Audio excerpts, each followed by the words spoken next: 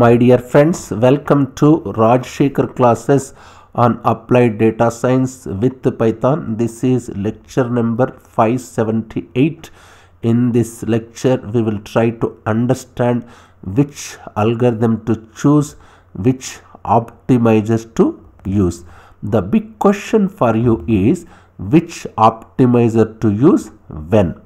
We have seen the spectrum of optimizers, mini batch SGD, momentum based approaches NAG. Then we have seen ADA, uh, ADA grad with adaptive gradients, ADA delta and RMS prop type of algorithms. Then we have seen ADAM, isn't it? Just try to recall. These are the spectrum of algorithms that we learn.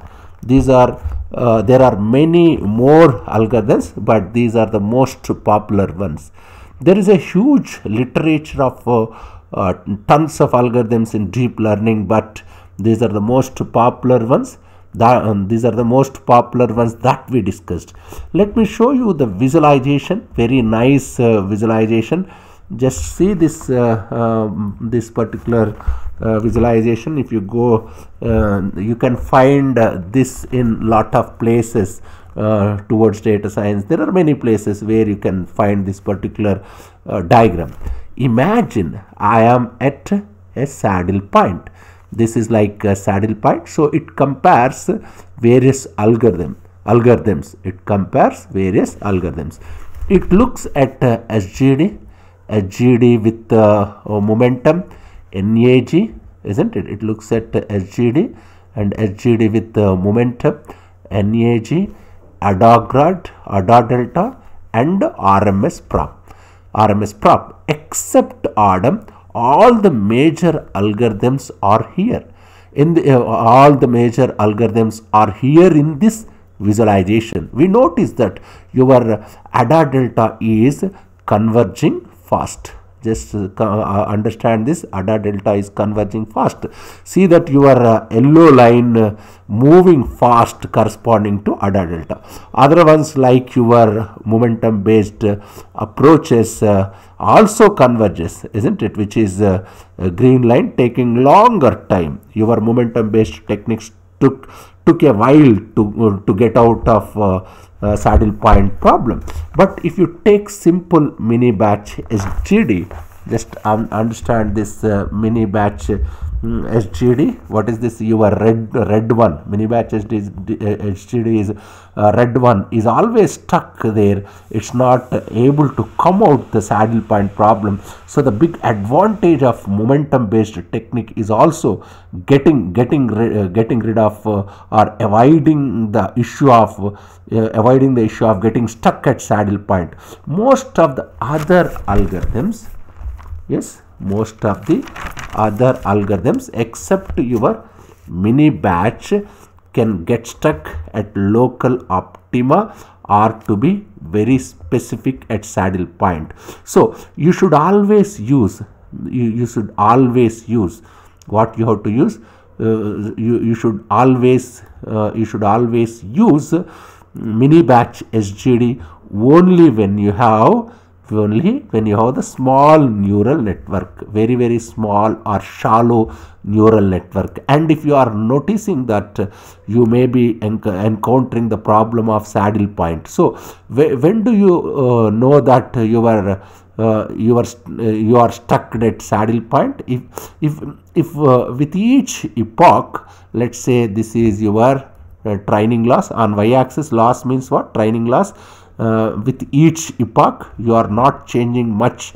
You are you are, you are stuck you are stuck here. You are not changing at all isn't it? Here if you observe you are not after some stage after some stage just see you are not changing at all. Just observe this one. This is not changing at all isn't it? It's not changing. One of the uh, it's not changing at all. One of the reasons could be this is your local optima isn't it? This is your local optima. There could there are two cases here. It could be local minima which is perfectly all right or it could be a saddle point. And in simple sgd or mini batch sgd cannot come out of your saddle point very easily. So your momentum and uh, your uh, moment so your momentum and NAG your momentum and NAG work fairly well in most cases isn't it? In most uh, i will repeat so your momentum and nag work very very well in in most cases but they are sometimes slow. If you if you notice this diagram itself just notice this your momentum much slower than ADA delta and other advanced algorithms. So, uh, so works well in many cases but slower typically slower especially when you have sparse data. ADAGRAD, ADAGRAD is very good because if you have sparse data or sparse features but it is better to use but it is uh, uh, uh, but but it is better to use ADA delta based approaches because the convergence here is faster. Typically, ADAM is one of the most uh, uh, one of the most favorite algorithm, and it is also one of the fastest algorithm as far as convergence is concerned. My favorite algorithm is always my favorite algorithm is always uh, has been ADAM there are some advances to adam but adam is one of the most adam is one of the most used algorithm in the whole literature. But to introduce but to introduce to adam i want to walk through you all of these algorithms that you understand and appreciate the value of adam.